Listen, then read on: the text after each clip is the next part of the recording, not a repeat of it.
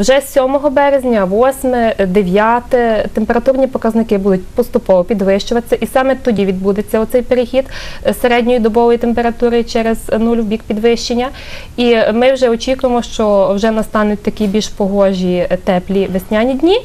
Хоча, е, звичайно, ще березень е, покаже нам і мороз нічний, і хуртовини, і невеликий сніг буде спостерігатися на початку другої декади за прогнозом Українського гідрометцентру. Березень цього року по температурних показниках повинен бути в межах кліматичної норми.